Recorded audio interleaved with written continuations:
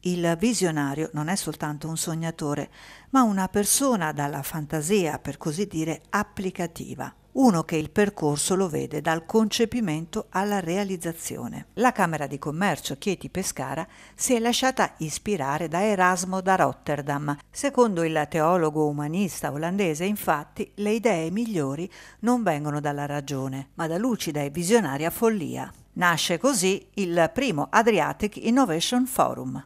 La manifestazione si svolgerà al porto turistico Marina di Pescara dal 17 al 19 novembre. È un forum dedicato alle idee, all'innovazione, alla ricerca del digitale. È un forum dedicato ai cervelli che vogliono crescere e si mettono a disposizione della comunità per ricerca generalizzata, tutti, è aperto a tutti i settori di ricerca. Partecipazione anche degli studenti con uh, delle iniziative proprio dedicate a loro come l'Hackathon?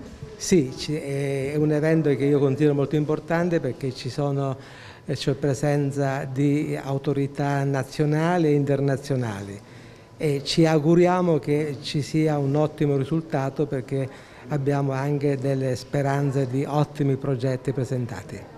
Secondo lei quali sono i settori su cui puntare e quei settori che i giovani appunto devono particolarmente tenere d'occhio per il futuro?